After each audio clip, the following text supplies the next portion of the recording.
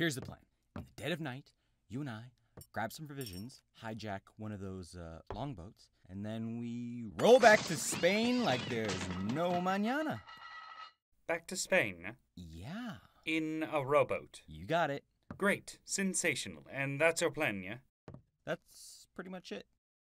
Well, I like it. So, how do we get on deck? Hmm. In the dead of night, you and I grab some provisions, hijack one of those uh, longboats. Ugh, great. Oh, okay. Well, what's your idea, smart guy? What do you mean? They- Don't ask me for that. You're the one with the plans. Wait, Asha, I, I have an idea. Uh, come on, g- g-